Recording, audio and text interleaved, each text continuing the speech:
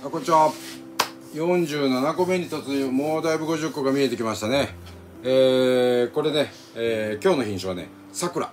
これ山梨県が発祥の地らしいんですけどあのー、そうですね。あの川中島が親になるみたいでちょっとあのー、加点すごいよこれも。ねカーテン美味しいんだろうな。でもね山梨言われた。でね果肉もちょっとかなり硬い感じなんでまあでも岡山で作ってこう袋ずっとかけるからこういう白くねあのー、育つっていうか。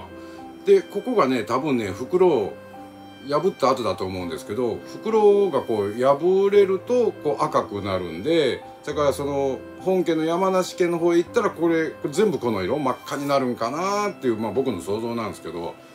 とりあえず桜、えー、いただきます。あ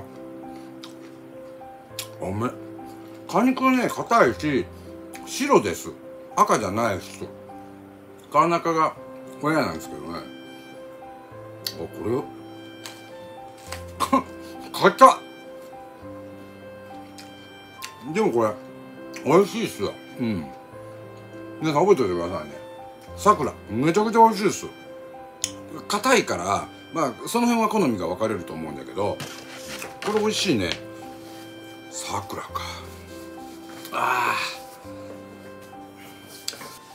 さあそれではね、えー、岡山あるあるっていうか、まあ、この前千鳥さんの話で千鳥のねえー、わしっていう話自分のことをねわしって言うんだけど岡山県民は、まあ、例えばですね、えー、何か失敗とかそういうのがあった場合ですね、えー、これ誰がやりましたか？